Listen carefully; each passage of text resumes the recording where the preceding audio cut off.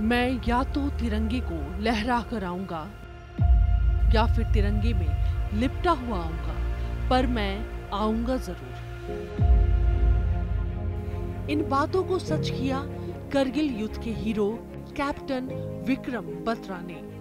देश की सरहदों की रक्षा करने वाले और अपनी जान कुर्बान करने वाले कुछ अलग ही मिट्टी के बने होते हैं। ऐसे ही सपूत थे विक्रम बत्रा।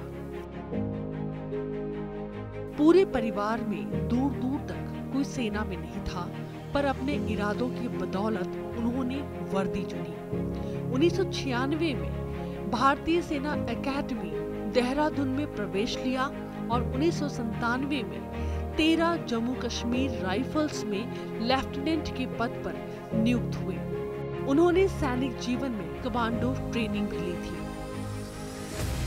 उन्नीस सौ निन्यानवे में हुए करगिल युद्ध में उनकी टुकड़ी को श्रीनगर लेह मार्ग के ठीक ऊपर सबसे महत्वपूर्ण पॉइंट 5140 को पाक सेना से मुक्त करवाने की ज़िम्मेदारी मिली, जिसे उन्होंने बखूबी निभाया। शानदार जज्बे ने विक्रम बत्रा को शेर शाह बना दिया। इसके बाद उनका अभियान 4875 चोटी को कब्जे में लेने का था।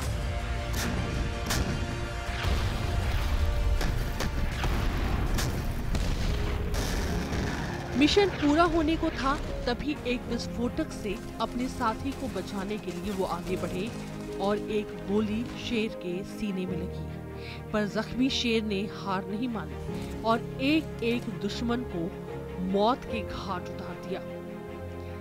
Point four eight seven five पर तिरंगा लहराया, पर उस पल को जीने के लिए वहाँ विक्रम बत्रा नहीं थे। इस अभियान में वो शहीद हो गए और उनके इस पराक्रम के लिए उन्हें मरणोपरांत परमवीर चक्र से सम्मानित किया गया।